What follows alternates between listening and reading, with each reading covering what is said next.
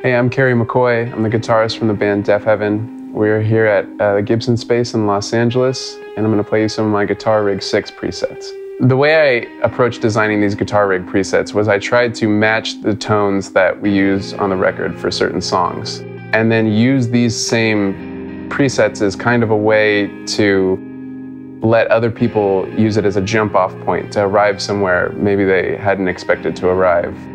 One of these presets is called Baby Blue Cleans. Um, when we were writing Baby Blue, I was listening to a lot of Radiohead and their album OK Computer, and was specifically influenced by their guitar player Jonny Greenwood and his performance of the singles from that record live.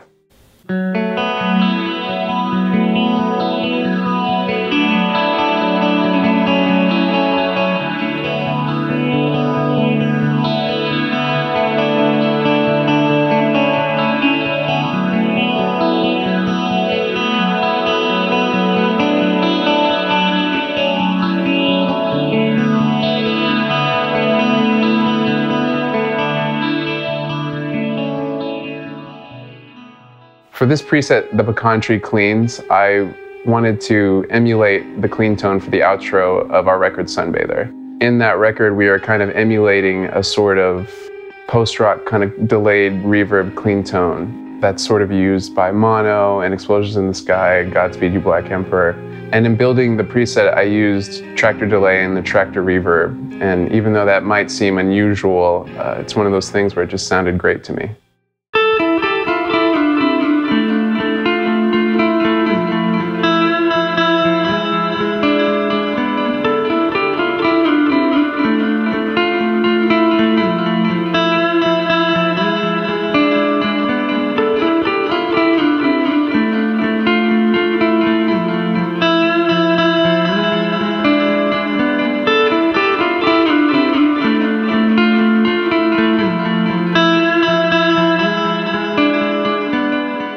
For the Van 51 preset, I essentially wanted to just recreate um, what it sounds like to sound check a pretty sterile but heavy sounding amp in an empty venue.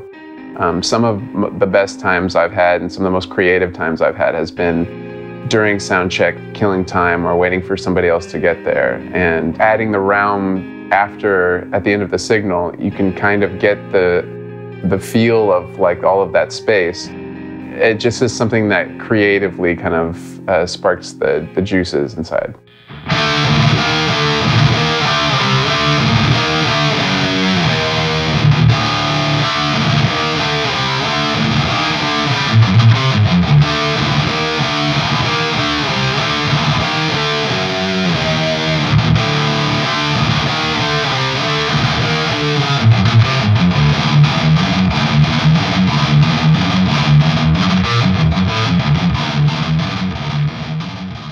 This preset is called Van 51 Solo. It's kind of me trying to recreate um, the solo tone from our song Baby Blue. Also a little bit um, the solo tone from our song Vertigo. It's kind of, you know, leaning into early Metallica, you know, classic Van Halen, that kind of, uh, you know, wah tone with just a hint of chorus through a very high gain amp. You know, the kind of thing that, you know, just makes you think of like packed stadiums of people headbanging and stuff like that. So it's pretty fun.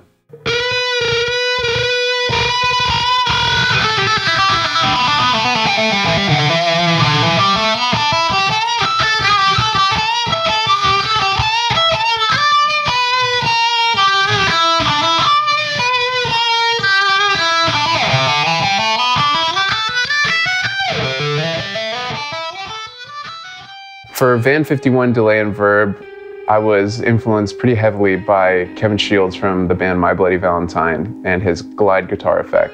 There's a knob that adjusts pitch and pitch pedal that you can clock to MIDI or you can record automation yourself and go crazy with it. And I feel like it opens up a lot of parameters creatively.